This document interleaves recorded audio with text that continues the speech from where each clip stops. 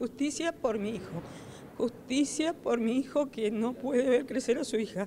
Y su hija se crece, sin su papá. Acá estamos como familia para ponerle el pecho y para que de una vez por todas, mi hermanito ya no va a estar más, pero hubo otros casos en Bahía donde lamentablemente el crimen se hace presente y para que no haya ningún Ramiro más y ninguna víctima más, que la justicia actúe como realmente tiene que actuar y que se ponga dura de una vez por todas. ¿Consideran que las pruebas son suficientes? Seguramente sí, está todo dado como para que estos criminales paguen con cadena perpetua. Acá estamos por Ramiro, por nosotros, por su hija, por su esposa, por él, que es el que se tuvo que levantar todos los días y abrir ese negocio que le tocó la parte más dura.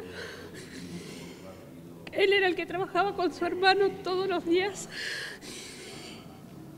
El Gaby es el único que hasta acá no ha salido. Es el que más guarda y el que más calla, pero está siempre así como está Gaby, como está mamá, como está todo el resto de la familia. La vida de un ser humano no vale tres años, no vale cinco años, no vale no vale 20. La vida de cada uno de ustedes, ¿cuánto vale? ¿Cuánto vale la vida de un hermano, de un padre, de una madre de ustedes?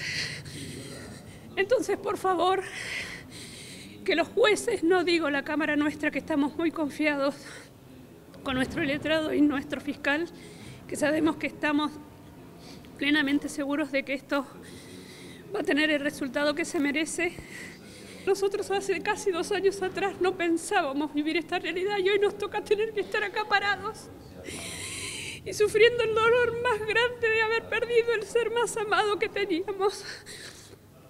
Entonces, nada, justicia, justicia por mi mamá, justicia por Ariel, justicia por mí, justicia por Gaby, justicia por Luna, por ese ser maravilloso que nos dejó por mi cuñada y por cada uno de ustedes, por toda la sociedad entera, justicia por todos.